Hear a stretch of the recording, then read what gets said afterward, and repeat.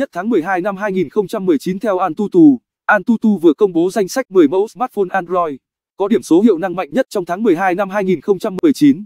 Theo đó, 10 smartphone Android có điểm hiệu năng mạnh nhất tháng 12. Vivo IQ Neo chạy chip Snapdragon 855, RAM 8GB và bộ nhớ trong 128GB dẫn đầu với 504.432 điểm. Xếp ở vị trí thứ hai và ba cũng là hai smartphone Vivo khác, IQ Pro 5G, RAM 8GB, bộ nhớ trong 256GB đạt 499.446 điểm.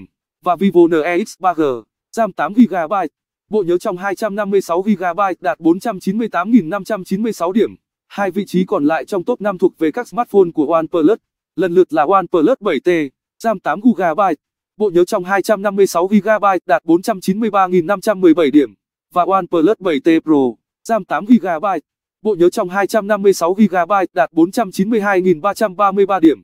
Vị trí thứ 6 thuộc về Asus ROG Phone 2, RAM 8GB, bộ nhớ trong 128GB đạt tới 491.167 điểm. Honor V30 Pro 5G, RAM 8GB, bộ nhớ trong 256GB xếp ở vị trí thứ 7 khi đạt 487.969 điểm. Đây chỉ là những smartphone có sẵn tại Trung Quốc, được đánh giá thông qua phần mềm đo điểm chuẩn phiên bản Antutu V8 mới nhất.